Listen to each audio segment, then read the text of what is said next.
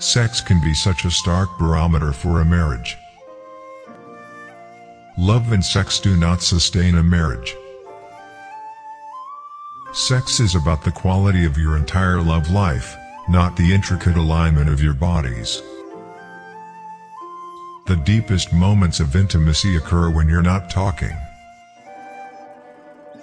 Sexual energy is just that, it's energy. And where we choose to expend that energy makes all the difference in the world. But you shouldn't give up on having a great sex life once you're married. Intimacy is key to having a healthy, functional, and overall happy relationship. Passionate sex is great.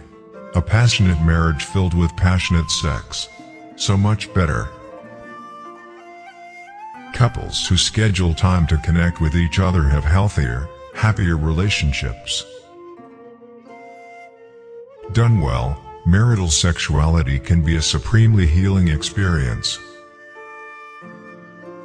That's why the marriage bed is usually a pretty accurate picture of what else is going on in the marriage.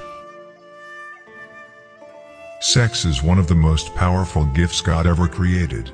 It was designed to bring a man and woman together in a physical, emotional and spiritual bond that would create pleasure, intimacy and also procreation. Yes, sex involves our bodies. But it doesn't involve only, or even primarily, our bodies. It's so much more than that.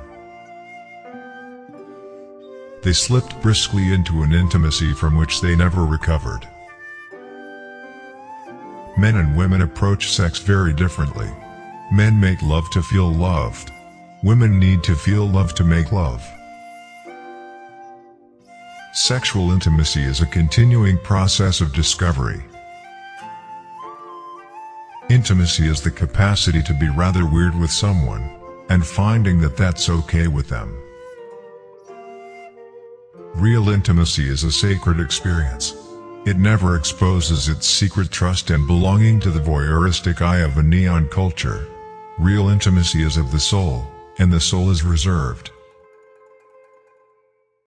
Intimacy between the husband and wife is one of the characteristics of a healthy marriage. One of the problems is that we have different ideas as to what it means to have intimacy. For some husbands intimacy means sex.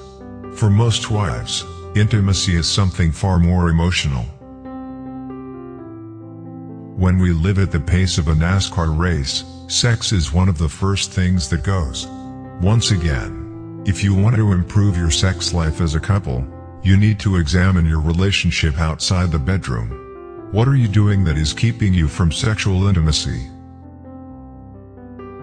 Intimacy is a totally different dimension. It is allowing the other to come into you, to see you as you see yourself.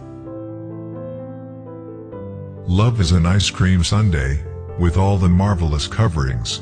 Sex is the cherry on top. True love is not a hide-and-seek game. In true love, both lovers seek each other. You always gain by giving love. There is only one happiness in this life, to love and be loved. You know you're in love when you can't fall asleep because reality is finally better than your dreams.